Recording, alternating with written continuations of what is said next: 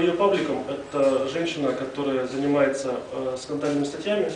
То есть она в украинских СМИ где-то там фигурирует, периодически выступает, а ее статьи носят э, больше, наверное, сексуальный такой характер.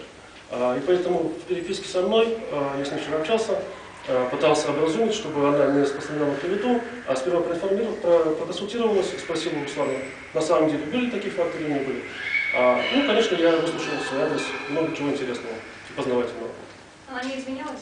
Нет, конечно. То есть она все мои слова, естественно, переврала, а, всю мою переписку удалила, опубликовала свою точку зрения а, с якобы с тем, что я ее там оскорблял, там, и так далее, и так далее. То есть, ну, я бы, наверное, сказал, что какая-то злоба. Вот так вот.